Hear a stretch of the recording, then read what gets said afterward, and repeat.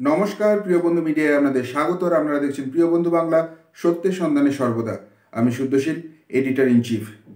দু হাজার একুশের বিধানসভা নির্বাচনের দিকে লক্ষ্য রেখে আমরা ইতিমধ্যেই শুরু করে দিয়েছি আমাদের ওপিনিয়ন পোলের কাজ এবং আমরা ইতিমধ্যেই উত্তরবঙ্গের পাঁচটি জেলা জলপাইগুড়ি, আলিপুরদুয়ার, দার্জিলিং, কালিম্পং এবং কুচবিহার।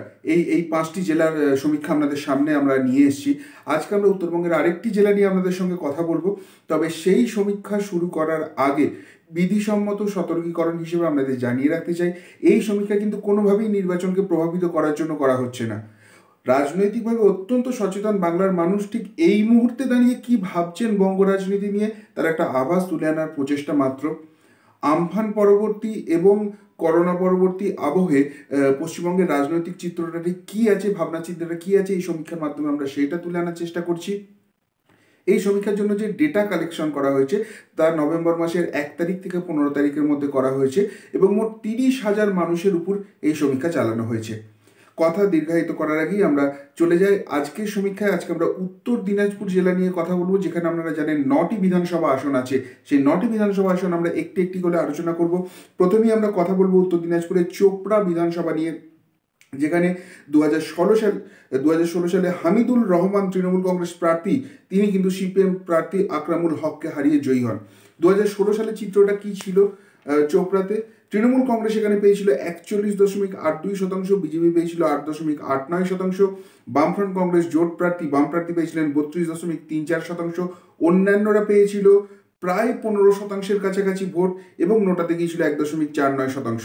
তৃণমূল কংগ্রেস প্রার্থী নিকটতম বাম বাম প্রার্থীকে ষোলো হাজার আটশো ষাট ভোটে হারিয়ে জয়ী হন। এরপর দু হাজার উনিশের লোকসভা নির্বাচন, সেখানে তৃণমূল কংগ্রেস পায় পঞ্চাশ দশমিক শূন্য সাত শতাংশ অর্ধেকেরও বেশিবার তৃণমূল বেশি ভোট তৃণমূলের বাক্সে।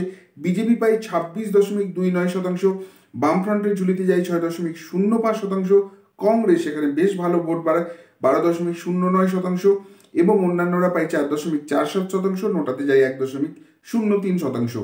চুয়াল্লিশ হাজার সাতশো সাতাত্তর বিশাল ব্যবধানে তৃণমূল কংগ্রেস নিকটতম প্রতিদ্বন্দ্বী বিজেপি থেকে এই আসনে এগিয়েছিল দু হাজার উনিশের লোকসভা নির্বাচনে। কি হবে দু হাজার একুশের নির্বাচনে চোপড়ার ফলাফল কি উঠে আসছে আমাদের সমীক্ষায়? দেখে নেব এক নজরে।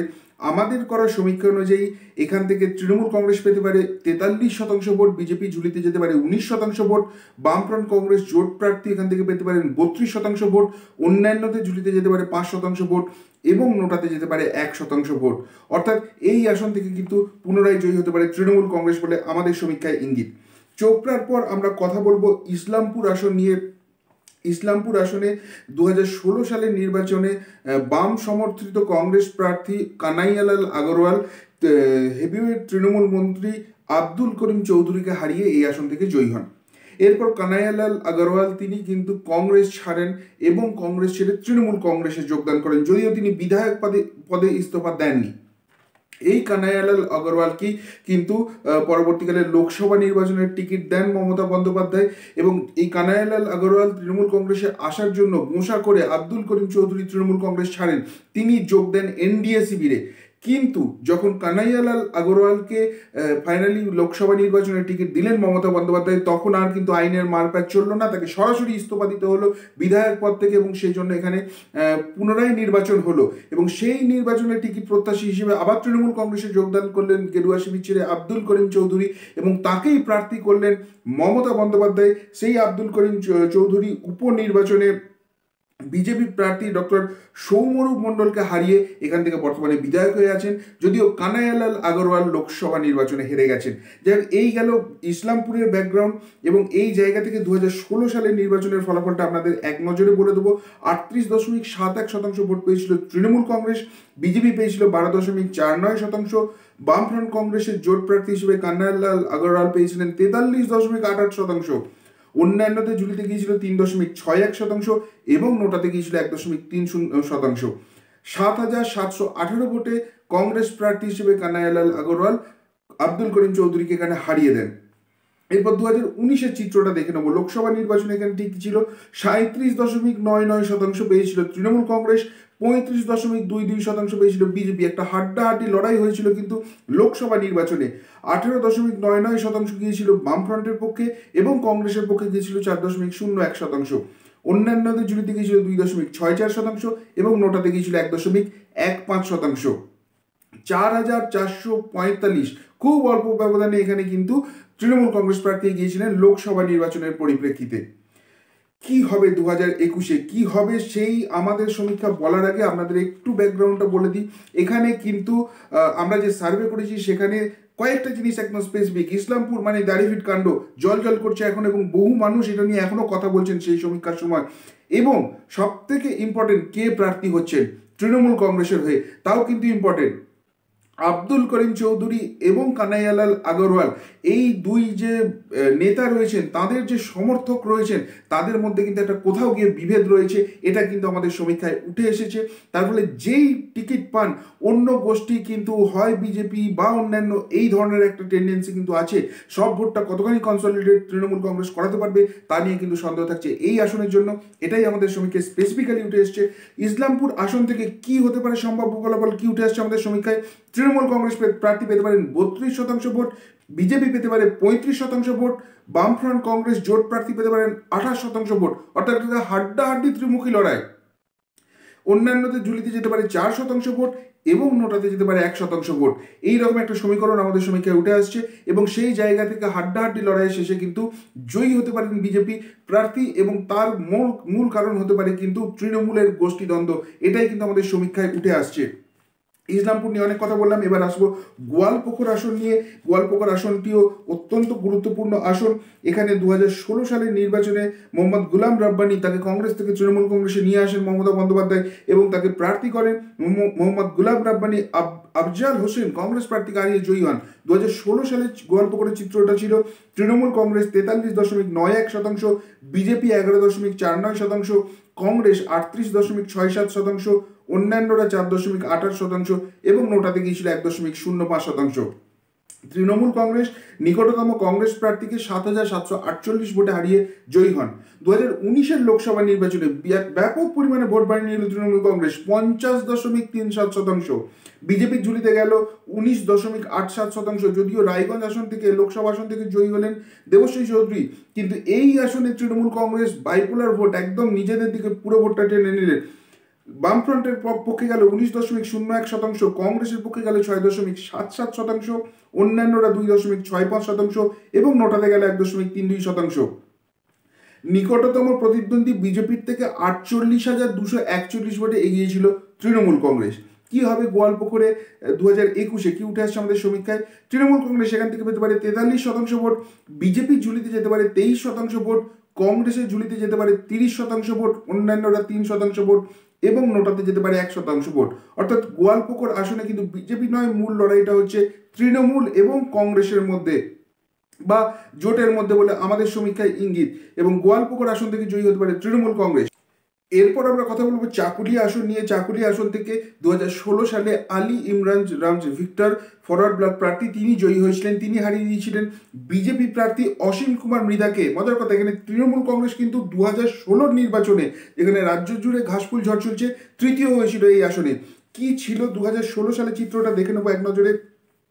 চাকুলিয়াতে তৃণমূল কংগ্রেস পেয়েছিল চব্বিশ দশমিক শূন্য পাঁচ শতাংশ, বিজেপি পেয়েছিল চব্বিশ দশমিক তিন ছয় শতাংশ, বামফ্রন্ট পেয়েছিল বিয়াল্লিশ দশমিক ছয় পাঁচ শতাংশ, অন্যান্যদের জুড়িতে গিয়েছিল সাত দশমিক সাত পাঁচ শতাংশ, নোটাতে গিয়েছিল এক দশমিক শূন্য সাত শতাংশ, সাতাশ হাজার পাঁচশো উনত্রিশ ভোটে বাম প্রার্থী, বিজেপি প্রার্থীকে হারিয়ে এখান থেকে জয়ী হন। দু হাজার উনিশের লোকসভা নির্বাচনে পঁয়ত্রিশ দশমিক নয় পাঁচ শতাংশ গিয়েছিল তৃণমূলের বাক্সে, একত্রিশ দশমিক এক নয় শতাংশ গিয়েছিল বিজেপির বাক্সে, বাম বাক্সে গিয়েছিল চল্লিশ দশমিক পাঁচ তিন শতাংশ, কংগ্রেস পেয়েছিল চার দশমিক চার সাত শতাংশ। অন্যান্যদের ঝুলিতে গিয়েছিল তিন দশমিক আট পাঁচ শতাংশ, সাত হাজার আটশো পঁচিশ ভোটে এখানে তৃণমূল কংগ্রেস প্রার্থী বিজেপির থেকে এগিয়েছিলেন কি হতে পারে চাকুলিয়াতে দু হাজার একুশের নির্বাচনে? কি উঠে আসছে আমাদের সমীক্ষায়? আমাদের করা সমীক্ষা অনুযায়ী এখানে কিন্তু একটা হাড্ডাহাড্ডি ত্রিমুখী লড়াই আমরা দেখতে চলেছি। উনত্রিশ শতাংশ ভোট পেতে পারে তৃণমূল কংগ্রেস, তেত্রিশ শতাংশ ভোট পেতে পারে বিজেপি, পঁয়ত্রিশ শতাংশ ভোট পেতে পারেন বাম প্রার্থী, বামফ্রন্ট কংগ্রেস জোট প্রার্থী। অন্যান্য ভাগ্যে যেতে পারে দুই শতাংশ ভোট এবং নোটাতে যেতে পারে এক শতাংশ ভোট। অর্থাৎ হাড্ডাহাড্ডি একটা ত্রিমুখী লড়াই শেষে এই আসন থেকে জয়ী হতে পারে বাম কংগ্রেস জোট প্রার্থী বলে আমাদের সমীক্ষায় ইঙ্গিত। এরপর আমরা কথা বলব করণদিঘি নিয়ে, যেখানে মনোদেব সিনহা তৃণমূল কংগ্রেস প্রার্থী হিসেবে ফরওয়ার্ড ব্লক প্রার্থী গোকুল রায়কে দু সালের নির্বাচনে হারিয়ে দেন। কি ছিল করণদিঘির চিত্রটা?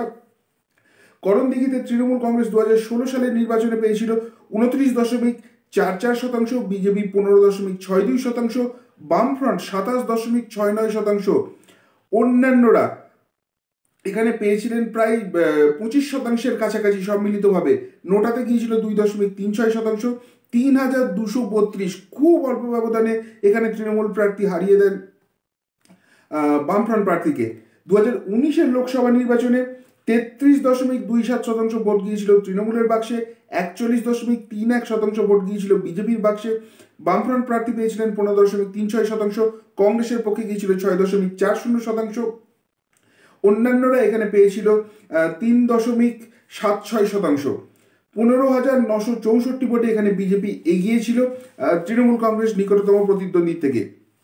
করণ দিঘি, কি হতে পারে দু হাজার একুশের নির্বাচনে? আমাদের সমীক্ষা অনুযায়ী বত্রিশ শতাংশ ভোট যেতে পারে তৃণমূলের বাক্সে। আটত্রিশ শতাংশ ভোট যেতে পারে বিজেপির বক্সে। বাম প্রার্থী, বাম বামফ্রন্ট কংগ্রেস জোট প্রার্থী এখানে পেতে পারেন পঁচিশ শতাংশ, অন্যান্যরা পেতে পারেন চার শতাংশ এবং নটাতে যেতে পারে এক শতাংশ। হাড্ডাহাড্ডি একটা লড়াই শেষে এখানে জয়ী হতে পারে বিজেপি বলে আমাদের সমীক্ষায় ইঙ্গিত। এরপর আমরা কথা বলব হেমতাবাদ আসন নিয়ে, যেখানে দেবেন্দ্রনাথ রায় সিপিএম প্রার্থী হিসেবে তৃণমূল কংগ্রেসের সবিতা ক্ষেত্রকে দু হাজার ষোলো সালের নির্বাচনে হারিয়ে দেন। এরপর তিনি দু হাজার লোকসভা নির্বাচনের পরে যোগ দেন বিজেপিতে। কিন্তু আনফর্চুনেটলি রহস্যজনকভাবে তার মৃত্যু হয়, তার ঝুলন্ত মৃতদেহ আমরা দেখতে পাই এবং সেখান থেকে প্রথমে আত্মহত্যা, তারপর খুন, বিভিন্ন তথ্য সামনে এসে একটা কন্ট্রোভার্সিয়াল ব্যাপার রয়েছে। সেই আসনটি বর্তমানে শূন্য রয়েছে দেবেন্দ্রনাথ বাবুর মৃত্যুর পরে। দু হাজার ষোলো সালের নির্বাচনে হেমতাবাদে তৃণমূল কংগ্রেস প্রার্থী এখানে পেয়েছিলেন চৌত্রিশ দশমিক শূন্য তিন শতাংশ, বিজেপি পেয়েছিল কুড়ি দশমিক ছয় তিন শতাংশ, বামফ্রন্টের ঝুলিতে গিয়েছিল চল্লিশ দশমিক ছয় সাত শতাংশ, অন্যান্যরা পেয়েছিল তিন দশমিক চার চার শতাংশ এবং নোটা দেখিয়েছিল এক দশমিক দুই তিন শতাংশ। তেরো হাজার একশো ছত্রিশ ভোটে জয়ী হন বাম প্রার্থী। এরপর দু হাজার উনিশের লোকসভা নির্বাচন সাঁত্রিশ দশমিক আট তিন শতাংশ ভোট পায় তৃণমূল কংগ্রেস, কিছুটা ভোট বাড়ায় ব্যাপক ভোট বৃদ্ধি হয় বিজেপি, চল্লিশ দশমিক সাত ছয় শতাংশ, বাম প্রার্থী পান নয় দশমিক এক পাঁচ শতাংশ, কংগ্রেসের ঝুলিতে যায় আট দশমিক পাঁচ তিন শতাংশ। অন্যান্যরা পায় তিন দশমিক সাত তিন শতাংশ। ছ হাজার একশো ছিয়াত্তর ভোটে এখানে বিজেপি প্রার্থী তৃণমূল কংগ্রেস প্রার্থী, নিকটতম প্রার্থীর থেকে এগিয়েছিলেন। কি হতে পারে? হেমতাবাদী কি উঠে আসছে আমাদের সমীক্ষায়?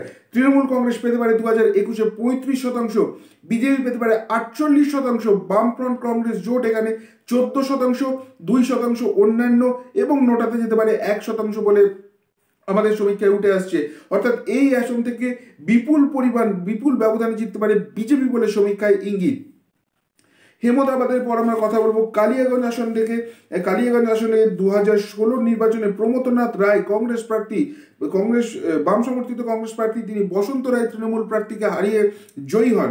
কিন্তু প্রমোদনাথ বাবুর মৃত্যু হয় এবং সে কারণে এখানে উপনির্বাচন হয়। সেই উপনির্বাচনে লোকসভা নির্বাচনে বিজেপি ব্যাপক এগিয়ে থাকার পরেও কিন্তু এখানে উপনির্বাচনে ভরাডুবি হয় বিজেপির। তৃণমূল কংগ্রেসের তপনদেব সিংহ কমলচন্দ্র সরকার, বিজেপি প্রার্থীকে হারিয়ে সেই উপনির্বাচনে জয়ী হন। আমরা কথা বলব দু হাজার ষোলো নির্বাচনের ফলাফল দু হাজার ষোলো নির্বাচনে কালিয়াগঞ্জ আসনে ঠিক চিত্রটা কী ছিল?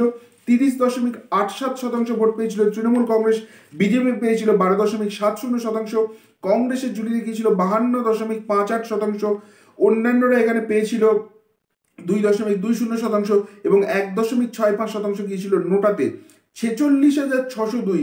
বিপুল পরিমাণ, বিপুল ব্যবধানে কংগ্রেস প্রার্থী এখানে হারিয়ে দিয়েছিলেন তৃণমূল প্রার্থীকে। দু হাজার উনিশের লোকসভা নির্বাচনে ঘুরে গেল চিত্রটা। সাতাশ দশমিক দুই পাঁচ শতাংশ ভোট গিয়েছিল তৃণমূলের বাক্সে।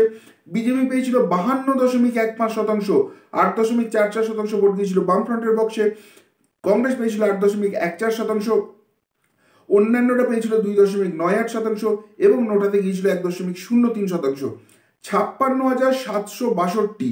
ভোটে এগিয়েছিল বিজেপি এই আসনে এবং তারপরেও কিন্তু উপনির্বাচনে ভরাডুবি হয় বিজেপি। কি হতে পারে? কালিয়াগঞ্জ আসনে দু হাজার একুশের নির্বাচনে আমাদের করা সমীক্ষা অনুযায়ী পঁয়তাল্লিশ শতাংশ ভোট পেতে পারে তৃণমূল কংগ্রেস, তেতাল্লিশ শতাংশ ভোট পেতে পারে বিজেপি, নয় শতাংশ ভোট পেতে পারে বামফ্রন্ট কংগ্রেস জোট প্রার্থী, দুই শতাংশ ভোট যেতে পারে অন্যান্যদের কাছে এবং এক শতাংশ ভোট যেতে পারে নোটাতে। অর্থাৎ একটা হাড্ডাহাড্ডি লড়াইয়ের ইঙ্গিত, মাত্র দুই শতাংশের ডিফারেন্স আসন যে কেউ জিততে পারে, কিন্তু অ্যাডভান্টেজ এই মুহূর্তে দাঁড়িয়ে তৃণমূল কংগ্রেস আমাদের করা সমীক্ষা অনুযায়ী। কালিয়াগঞ্জের পর আমরা কথা বলব রায়গঞ্জ আসন নিয়ে। রায়গঞ্জ আসনটি কংগ্রেসের অ্যাকচুয়ালি গড় বলা যায়। মোহিত সেনগুপ্ত তৃণমূল কংগ্রেস প্রার্থী হিসেবে, তৃণমূল কংগ্রেস প্রার্থী পূর্ণেন্দু দেখে দু হাজার ষোলোর নির্বাচনে তিনি হারিয়ে দেন। রায়গঞ্জের চিত্রটা ঠিক কী ছিল? দু হাজার ষোলোর নির্বাচনে তৃণমূল কংগ্রেস এখান থেকে পায় চব্বিশ দশমিক ছয় তিন শতাংশ, বিজেপি পায় আট দশমিক ছয় নয় শতাংশ বামফ্রন্ট কংগ্রেস জোট প্রার্থী এখানে কংগ্রেস প্রার্থী হিসেবে দাঁড়িয়েছিলেন মোহিত সেনগুপ্ত তিনি পান আটান্ন দশমিক নয় আট শতাংশ। ছয় শতাংশের কাছাকাছি পায় অন্যান্যরা এবং নোটাতে গিয়েছিল এক দশমিক তিন তিন শতাংশ। একান্ন হাজার দুশো সাতচল্লিশ ভোটে কংগ্রেস প্রার্থী মোহিত বাবু হারিয়ে দেন নিকটতম তৃণমূল প্রার্থীকে। কিন্তু দু হাজার উনিশের লোকসভা নির্বাচনে আবারও গেল চিত্রটা।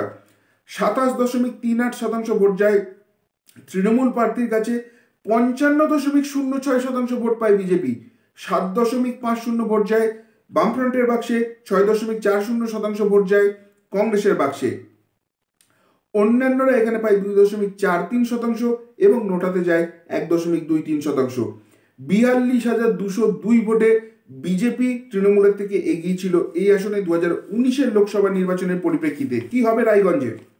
ফুটবে পদ্ম, নাকি ঘুরে দাঁড়াবে কংগ্রেস, নাকি ঘাস ফুলের জ্বর? আমাদের সমীক্ষা কি ইঙ্গিত দিচ্ছে? চব্বিশ শতাংশ ভোট পেতে পারে তৃণমূল কংগ্রেস, একত্রিশ শতাংশ ভোট পেতে পারে বিজেপি, বিয়াল্লিশ শতাংশ ভোট পেতে পারে বামফ্রন্ট কংগ্রেস জোট প্রার্থী এই আসন থেকে, দুই শতাংশ ভোট যেতে পারে অন্যান্যদের বাক্সে এবং এক শতাংশ ভোট যেতে পারে নোটাতে। হাড্ডাহাড্ডি লড়াই শেষে এখানে বামফ্রন্ট কংগ্রেস জোট প্রার্থী বা কংগ্রেস প্রার্থী এই আসন থেকে জয়ী হতে পারেন বলে আমাদের সমীক্ষায় ইঙ্গিত উঠে আসছে। এরপর আমরা কথা বলব উত্তর দিনাজপুর জেলার একদম শেষ আসন ইটাহার নিয়ে। অমল আচার্য, তৃণমূল প্রার্থী হিসেবে শ্রীকুমার মুখার্জি রাজ্যের প্রাক্তন মন্ত্রী, সিপিআই ক্যান্ডিডেট তাকে হারিয়ে দিয়েছিলেন দু হাজার নির্বাচনে। ইটাহারের চিত্রটা দু হাজার নির্বাচনে কী ছিল? তৃণমূল কংগ্রেস বাহান্ন দশমিক দুই ছয় শতাংশ অর্ধেকেরও বেশি ভোট নিজেদের বাক্সে।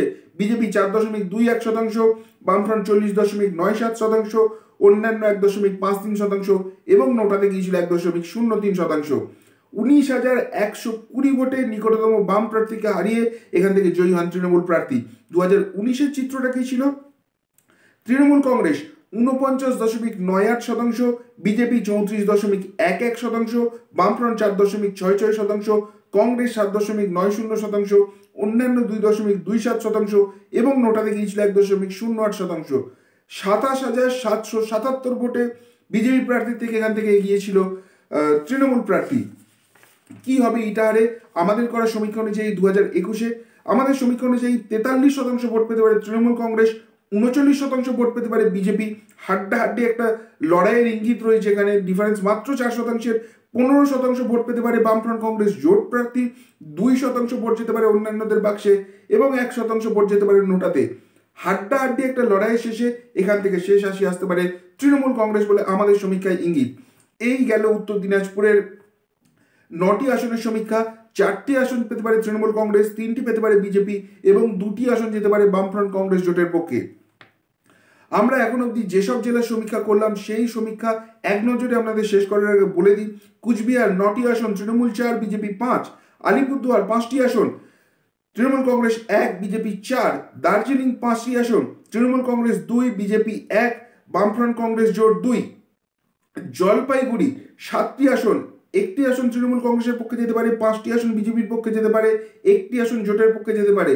কালিম্পংয়ে একটি আসন আছে, যে আসনটি যেতে পারে তৃণমূল কংগ্রেসের পক্ষে। উত্তর দিনাজপুরের নটি আসন, চারটি আসন যেতে পারে তৃণমূল কংগ্রেসের পক্ষে, তিনটি বিজেপির পক্ষে, দুটি আসন যেতে পারে জোটের পক্ষে। অর্থাৎ এখনও অবধি যে আমরা ছত্রিশটি আসনের সমীক্ষা প্রকাশ করলাম রাজ্যের তার মধ্যে তেরোটি আসন তৃণমূল কংগ্রেস, আঠেরোটি বিজেপি এবং পাঁচটি আসন জোটের পক্ষে যেতে পারে বলে আমাদের সমীক্ষায় ইঙ্গিত। তো এই গেল আজকের সমীক্ষা। কেমন লাগছে আমাদের সমীক্ষা?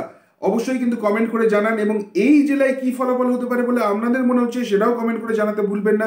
যদি ভালো লাগে, অবশ্যই করে লাইক করুন এবং আপনার প্রিয়জন, পরিজনদের কাছে পৌঁছে দেওয়ার জন্য শেয়ার করতে ভুলবেন না আমাদের এই সমীক্ষা। আমাদের চ্যানেলটি সাবস্ক্রাইব করে রাখুন এবং পাশের বেল আইকনটি প্রেস করে দিন, তাহলে আগামী দিনে এই ধরনের যে সমীক্ষা বা বিভিন্ন রকমের ভিডিও নিউজ নিয়ে আসব, তা সবার আগে পৌঁছে যাবে আপনাদের কাছে। আজকের মতো আপাতত বিদায় নিচ্ছি। নতুন সমীক্ষা, নতুন জেলা নিয়ে ফেরত আসছি। খুব তাড়াতাড়ি। ভালো থাকবেন, সাথে থাকবেন, পাশে থাকবেন। নমস্কার।